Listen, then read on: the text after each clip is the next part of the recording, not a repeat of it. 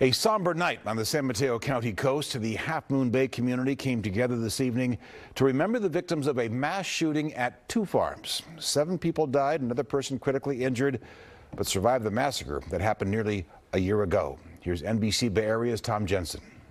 Some moving moments tonight at this ceremony, not just to remember the victims, but also to continue the work that came in the aftermath of this tragedy to improve the lives of the survivors. Today, Let's not forget, never again. Half Moon Bay's mayor led tonight's remembrance ceremony, remembering the victims who lost their lives to the workplace gun violence a year ago Tuesday. Farm workers have never been recognized. And he reminded everyone how vital farm workers are to all of our lives, but are often forgotten and treated as second class citizens. We owe it to them. Let's not forget that.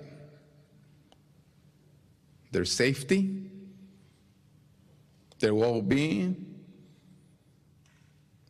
That includes decent housing. Speakers included retiring U.S. Congresswoman Anna Eshoo, who said everyone needs to remember the victims and help improve living and working conditions that were exposed by the tragedy. And so, in remembering them, there's also honoring them to correct, to fill the gaps the holes that can exist in a community. 66 year old Chun Li Zhao was arrested shortly after the shooting as he sat in his parked car in the Half Moon Bay Sheriff's substation lot.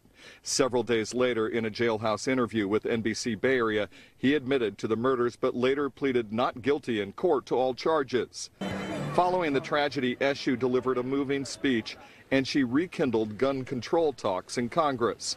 In an interview before tonight's ceremony, she promised it will one day be reality as long as we never forget about the victims of gun violence. One of these days, it's going to pass. It's going to pass, but we have to stay on it. And attendees came together in a moment of silence to close the ceremony, vowing that they won't forget. A specially selected community committee continues to work on a permanent memorial for the victims and also on that work to foster improvements for the migrant worker environments. In Half Moon Bay, Thom Jensen, NBC Bay Area News.